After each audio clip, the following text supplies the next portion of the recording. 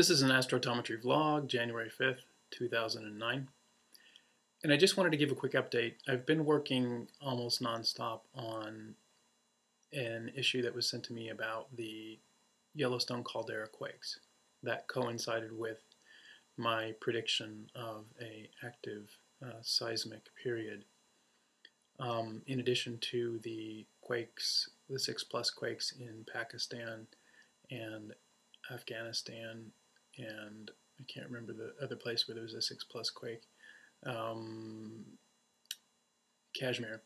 Um, there were quakes uh, above seven in magnitude in Indonesia, and it also triggered a seismic flurry in the Yellowstone caldera, which is a um, a volcanically active area and it's a it's a touchy volcanically active area because if the Yellowstone caldera blows, it's a really serious issue.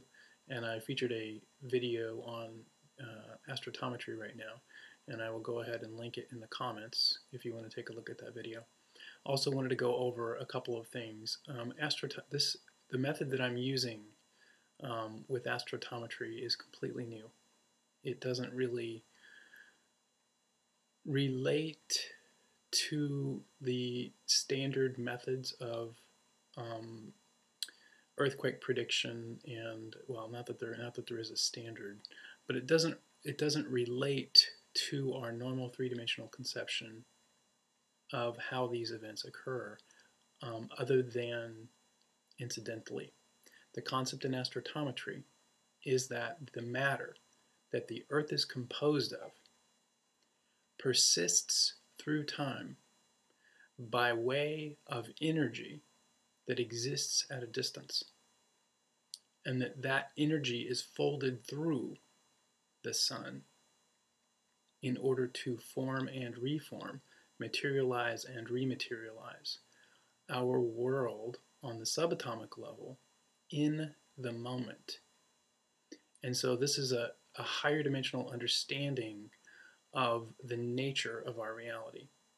And in astrotometry, anytime there is, we, astrotometry points out that anytime there is a significant movement of mass on the Earth, that that movement is um, is reflected through time and space across the axis of the primary time manifold that is understood to be the three-dimensional phenomenon that we observe as the sun. And in the chronocentric model, the, the time that we perceive uh, the Earth taking to rotate on its axis and the Earth take, taking to rotate uh, once or um, process once around the sun is understood to be the center. In other words, there's not really a center of the universe because everything is actually moving. The sun is moving with respect to everything else. And so um, in the, the three-dimensional version of astrotometry, the, uh, the situation is understood to be chronocentric, centered around time. And so I'm looking at folds in time-space that manifest as frequency differentials on the surface of the sun.